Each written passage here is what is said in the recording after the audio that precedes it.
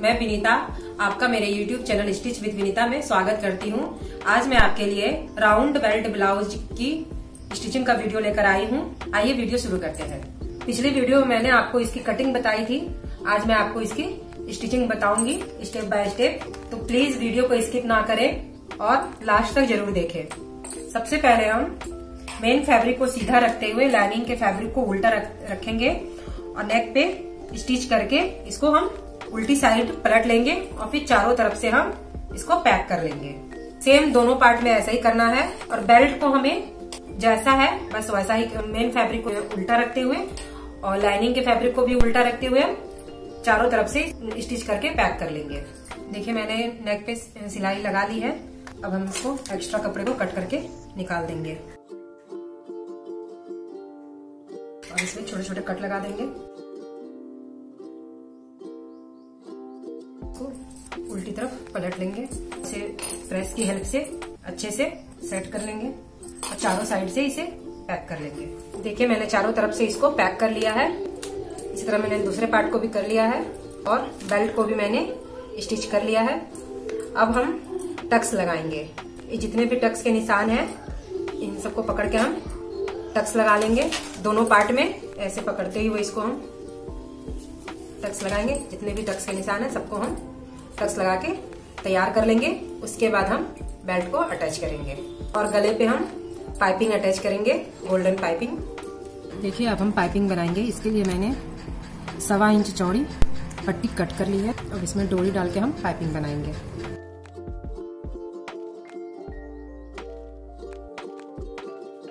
हमारी पाइपिंग बनकर तैयार हो गई है। इसी तरह मैंने पहले से ही एक पाइपिंग तैयार करके रखी हुई है। अब हम इसको नेक पे अटैच करेंगे।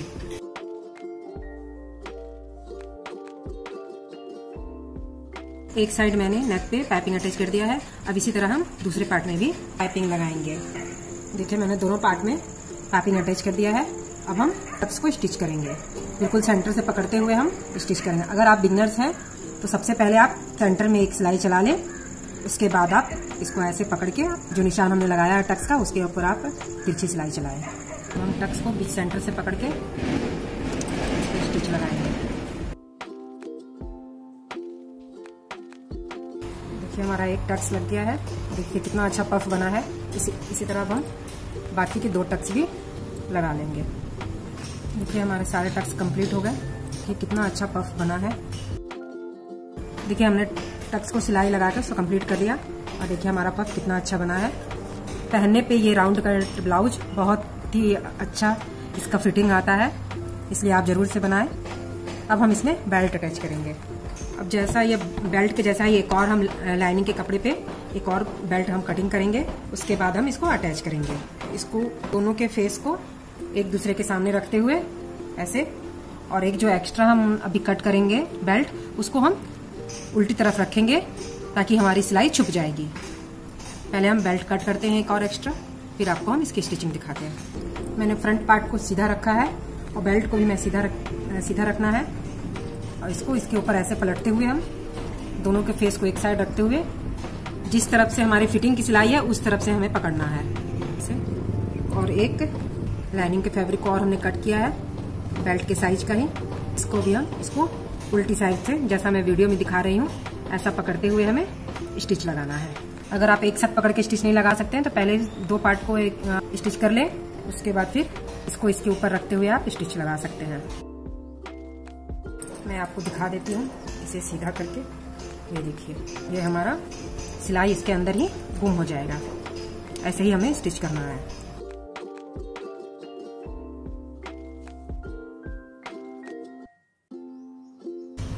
देखिए, मैंने स्टिच लगा ली है। इसके ऊपर हम डबल स्टिच कर लेंगे और इसको सीधा कर लेंगे।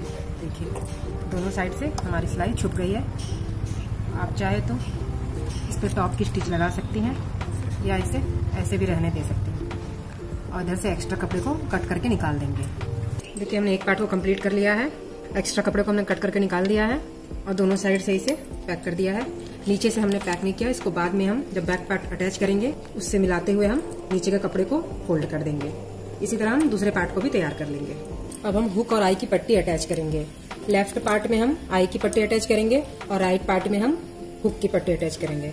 इसके लिए मैंने तीन इंच चौड़ी पट्टी कट कर ली है। इसको हम लेफ़्ट पार्ट के उल्टी साइड में रखते हुए हाफ़ इंच का मार्जिन लेते हुए जो हमने हाफ़ इंच आई और हुक की पट्टी के लिए छोड़ा था, हाफ़ इंच का मार्जिन लेते हुए सिलाई लगाएँगे और इसको राइट साइड में पलट लेंगे।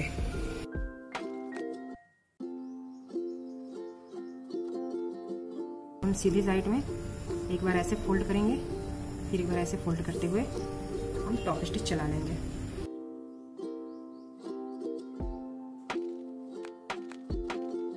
एक्स्ट्रा कपड़े को हम कट कर लेंगे। और इसको अंदर की तरफ़ हम फोल्ड कर लेंगे।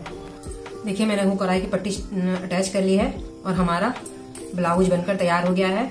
अब आप इसमें अपना बैक पार्ट अटैच करके स्लीव्स अटैच कर लें और आपका राउंड बेल्ट वाला ब्लाउज बनकर तैयार हो गया है। पहनने के बाद इसकी फिटिंग बहुत ही अच्छी आती है, इसलिए ज़रूर से आप ट्राई करें और मुझे कमेंट कमेंट करें कि आपको कैसा लगा।